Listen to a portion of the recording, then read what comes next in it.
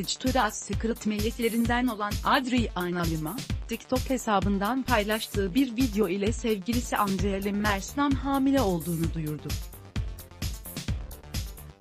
Bir dönem Metin Hara ile aşk yaşayan Adriana Lima ayrılığın ardından yeni sevgilisiyle basında boy göstermeye başlamıştı. Aradığı aşkın nihayet bulan ünlü model bebeğini kucağına almaya hazırlanıyor. Lima, sosyal medya hesabından yaptığı paylaşımda sevgilisine gebelik testini gösterdi.